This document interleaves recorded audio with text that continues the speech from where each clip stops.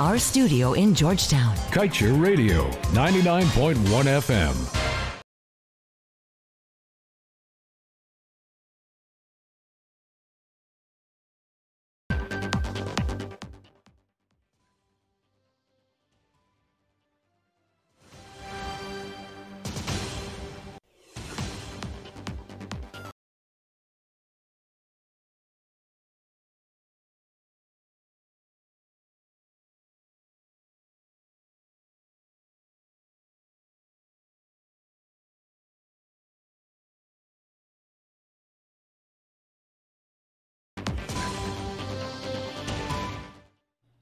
Welcome to your morning newscast right here on Kaieteur Radio 99.1, 99.5 FM in our headlines this morning. 100 countries want declaration of recount results. APNU AFC accuses international community of partisanship. And four days after the Court of Appeal decision, CCJ goes on two months vacation and the Troy Resources responsible for death of geologist. Get the details of these and others when the news returns.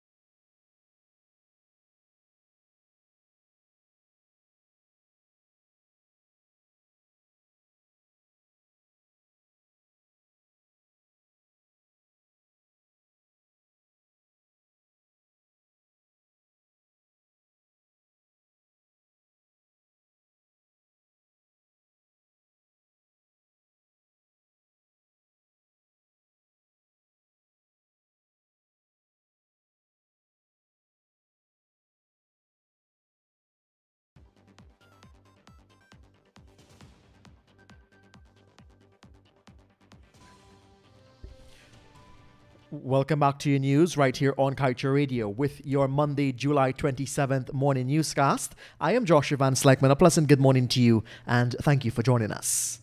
100 countries are now represented in calls for governments and the multilateral organization for GECOM to declare the results of the recount and put an end to Guyana's uh, protracted 2020 elections. These countries are those which have historically espoused democratic values and account for about half of the global population.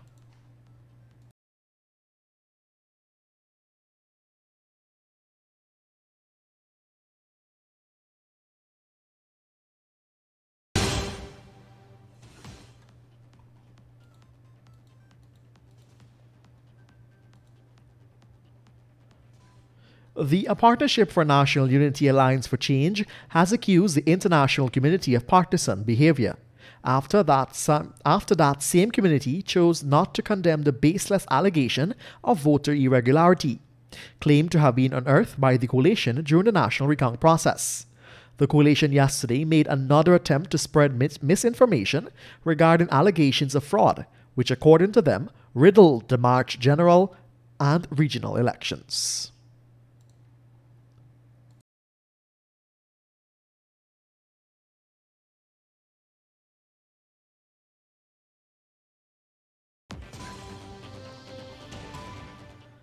Four days after the Court of Appeal is set to rule on the matters pertaining to the March elections, Guyana's apex court, the Caribbean Court of Justice, is anticipated to proceed on its second vacation, set to last for a period of two months. This vacation is set to commence on August 3rd and end on October 2nd, 2020.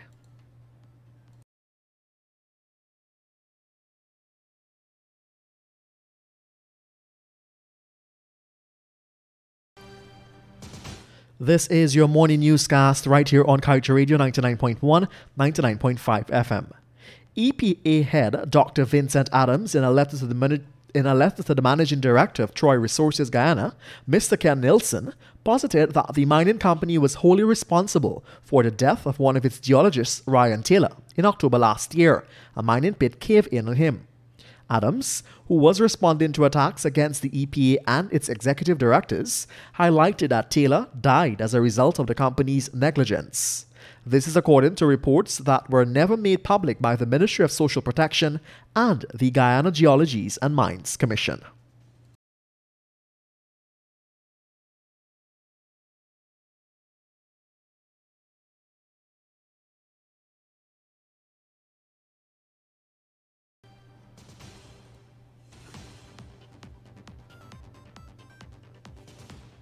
In light of Exxon's flaring, the Protected Area Commission must place Guyana's remaining mangroves on the legal protection immediately. A fair deal for Guyana, a movement which seeks to protect the environment, is calling on, protected, on the Protected Areas Commission to place the nation's remaining mangroves under the legal protection immediately. With Guyana oil and gas industry, local and international stakeholders says that the role of the mangroves will be even more important since they serve as carbon sinks by absorbing enormous amounts of carbon dioxide and other greenhouse gases.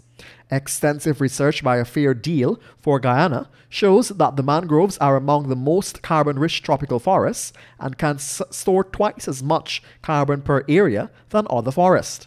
With this in mind, the movement which seeks to protect the environment is concerned that these carbon sink benefits for Guyana are being wiped out by fossil fuel emission by ExxonMobil.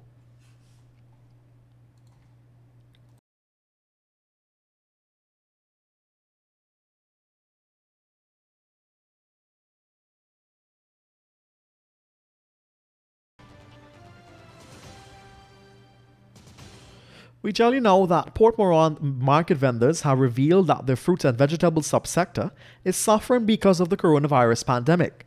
The vendors stress that consumer purchases are declining at a troubling pace, which leaves them on many occasions with no choice but to discard of good produce or sell them at a loss.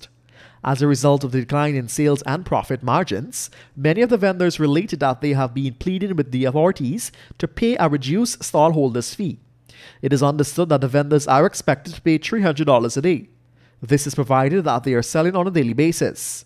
But even this seems a small sum is now costly for some vendors.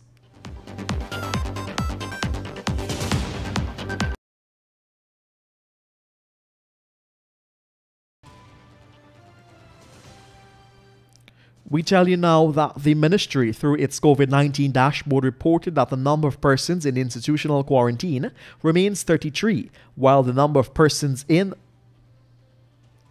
institutional isolation have also increased by 169. The Ministry of Public Health yesterday also confirmed another 10 positive COVID 19 cases, bringing the country total to 370. Additionally, four persons remain in the COVID 19 intensive care unit, while 181 persons have so far recovered from the virus. To date, there are 20 fatalities.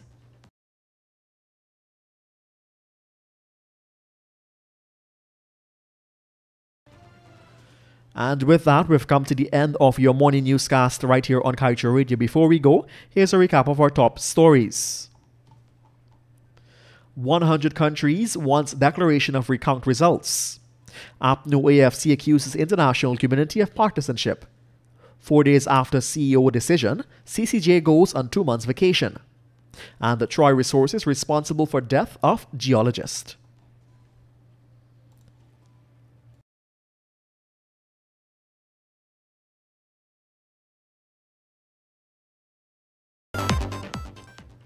And that's the news to the moment. I am Joshua Van Slackman, thanking you for joining us, encouraging you to practice social distancing, and of course, to wear your face mask when leaving. So long, take care.